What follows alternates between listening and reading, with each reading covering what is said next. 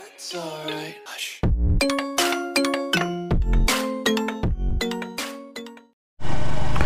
So hello guys मैं हूँ Animesh welcome to my YouTube channel AP motor blogs so guys अभी निकले हैं घर से। तो गाइस अभी टाइम हो रहा है ट्वेल्व थर्टी तो बहुत दिन से चैनल पर रिव्यू का वीडियो नहीं आ रहा था, क्योंकि लॉकडाउन था। सो अभी थोड़ा थोड़ा लॉकडाउन उठ गया है। हम लोगों के इधर पे तो मैं जा रहा हूँ अभी बजाज पे, विशाखा बजाज। तो कौन सी बाइक का मैं आज रिव्यू करूँगा, वो तो आप लोग थंबनेल पे देख के पता चल गया होगा। तो जिक्सू को लेके निकले हैं तो फुल डिटेल्स मैं दूँगा इस वाले वीडियो पे प्राइस रिव्यू सारे स्पेसिफिकेशंस सब बताऊँगा इस वाले ब्लॉग पे। अगर guys, मेरे चैनल में आप लोग नए हो तो अभी चैनल को सब्सक्राइब कर दो, क्योंकि मैं इसी तरह इन्फॉर्मेटिव ब्लॉग्स आप लोगों के लिए डालता रहता हूँ। और अगर वीडियो अच्छा लगे, ज़रूर एक लाइक करके जाना। अगर कुछ क्वारी रहेगा तो मुझे इंस्टाग्राम पे डीएम कर सकते हो। इंस्टाग्राम का लिंक मैं डिस्क्रिप्शन बॉक्स में दे दिया हूँ।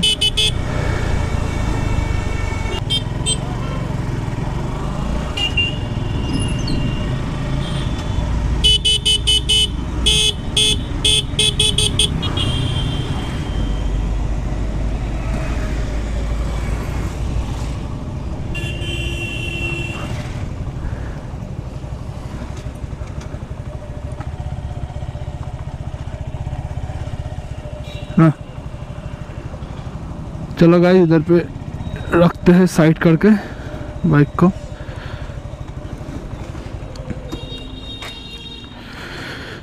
Finally launch Bajaj Pulsar N S इस सेगमेंट में बहुत अच्छा टक्कर देने वाला है ये बाइक क्योंकि जिन लोगों का बजट थोड़ा कम है, लेकिन लुक्स चाहिए माइलेज चाहिए, अच्छे हैंडलिंग चाहिए, उन लोगों के लिए ये बाइक बहुत ही अच्छा डील होने वाला है।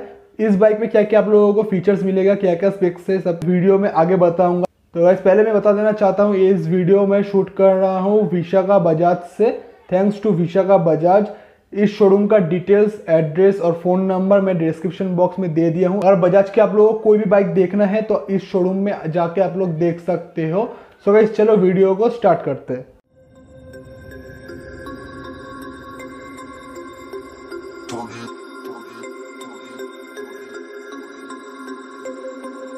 About to turn it on.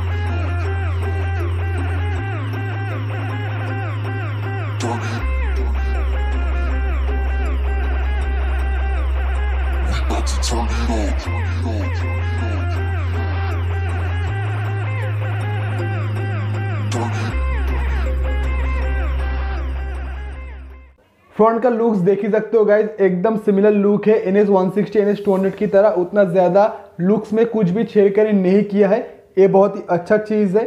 Front में आप लोगों को टेलीस्कोपिक सस्पेंशन मिल जाता है सस्पेंशन के ऊपर एक छोटा सा रिफ्लेक्टर फ्रंट व्हील का साइज़ है 17 इंच और फ्रंट टायर का साइज़ है 80 बाई हंड्रेड सेक्शन की ट्यूबलेस टायर मिल जाता है। इस बाइक में जो डिस्क है डिस्क का साइज़ है 240 फोर्टी mm, इसमें आप लोगों का सिंगल चैनल एबीएस नहीं मिलता है। कॉम्बी ब्रेक सिस्टम के साथ है। और फ्रंट का जो मडगार्ड है मडगार्ड के ऊपर एक कार्बन फिनिश दिया हुआ है जो पहले नहीं आता था। इस वाले मॉडल में आप लोगों को मिलेगा।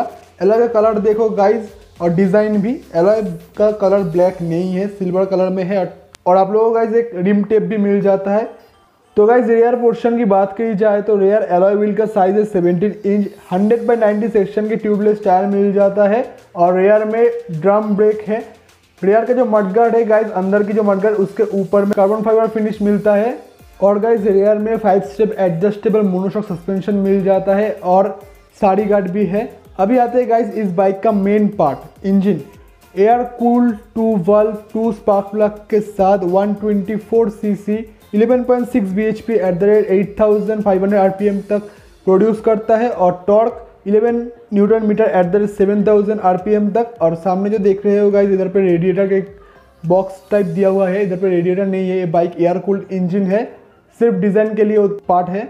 और गाइज़ 125 बाइक होने के बाद भी इस बाइक में आप लोगों को फाइव गियर ट्रांसमिशन मिल जाता है। इलेक्ट्रॉनिक कार्बोरेटर है इस बाइक में फ्यूल इंजेक्शन नहीं है। इसलिए आप लोग गाइज़ फ्यूल को ऑन ऑफ़ कर सकते हो। और माइलेज अप्रोक्स 50 तक एक्सपेक्ट कर सकते हैं। इसके ऊपर भी हो सकता है, नीचे भी हो सकता है। वो तो राइडिंग स्टाइल के ऊपर डिपेंड करता है। और एक 125 सीसी के बाइक में सिर्फ़ इस बाइक में आप लोगों को मिलेगा पेरीमीटर फ्रेम इससे गाइज़ आप लोग कॉर्नरिंग ज़्यादा कर सकते हो बॉडी बैलेंस अच्छा मिलेगा। और गाइज़ इस मॉडल पे आप लोगों को किक का भी ऑप्शन है तो ये चीज़ मुझे बहुत अच्छा लगा, क्योंकि नया जो मॉडल आ रहा है, उसमें किक का ऑप्शन ही नहीं है तो बहुत दिक्कत होता है। अगर बाइक का बैटरी लो हो जाता है तो फिर आप बाइक स्टार्ट नहीं कर पाओगे। आप लोगों को इंजन काउल भी मिल जाता है छोटा सा, और उसके ऊपर ग्राफिक्स भी किया हुआ है, बहुत ही प्यारा लग रहा है। और गाइस सीट के ऊपर एक अलग सा डिज़ाइन किया है। इसके लिए बहुत ही प्रीमियम लग रहा है, और सीट क्वालिटी बहुत अच्छा है सॉफ्ट है। और पीछे में गाइज़ आप लोगों को एक ग्रैप रेल मिल जाता है, और टेल लाइट के ऊपर एक ग्राफिक्स जो पिछले वाले मॉडल्स पे नहीं आते थे अभी ये जो ग्राफिक्स है, मुझे बहुत ही अच्छा लगा। पल्सर का लोगो थ्री डी मिल जाता है और टैंक पैड भी है। और टैंक का शेप एकदम एग्जैक्ट पहले की तरह ही है। और गाइज़ आप लोगों को इस मॉडल पे क्लिप ऑन हैंडल बार मिल जाता है। इसलिए आप लोगों का हैंडलिंग बहुत अच्छा रहेगा क्लिप ऑन हैंडल बार के लिए। तो गाइज़ अभी बात करते हैं मेरा फेवरेट पार्ट इंस्ट्रूमेंट क्लस्टर पे। देख लो, बीच में एनालॉग मीटर राइट साइड में डिजिटल मीटर, एनालॉग मीटर के राइट साइड में फ्यूल दिखाएगा और डिजिटल मीटर पे स्पीड टाइम ओडोमीटर और एकदम लेफ़्ट साइड में बैटरी का सिग्नल, बजाज का लोगो, अपर डिपर इंडिकेटर और एफआई का और मीटर के ऊपर में गाइस आरपीएम लिमिटर दिया है। और इस वाले मॉडल पे भी आप लोगों को अंडर बेली एग्जॉस्ट मिलता है। तो चलो एग्जॉस्ट नोट आप लोगों को सुनाता हूँ।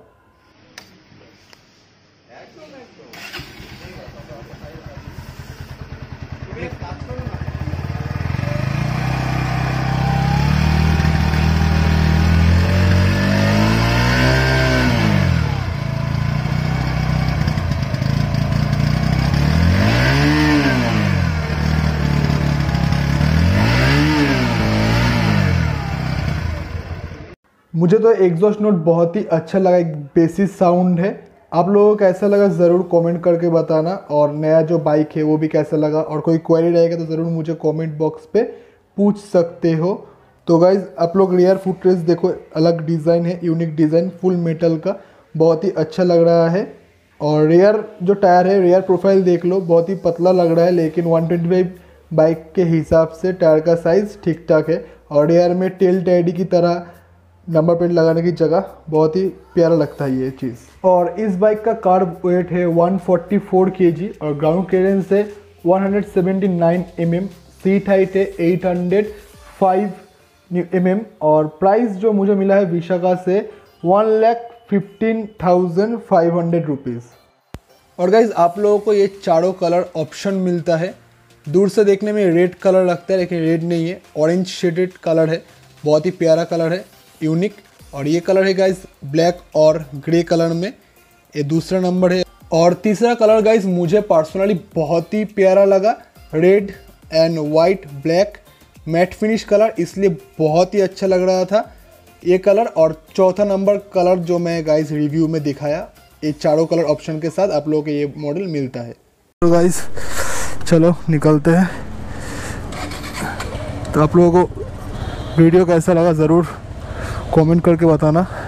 अगर क्वेरी रहेगा तो मुझे इंस्टाग्राम पे डीएम कर सकते हो। तो टेस्ट राइड के लिए मैंने बोला, लेकिन कोविड के लिए अभी टेस्ट राइड नहीं हो रहा है। तो वैसे चलो, मिलते हैं इसी तरह किसी नेक्स्ट ब्लॉग पर। सो बाय खुद का ख्याल रखना, घर का सारा मेंबर का ध्यान रखना।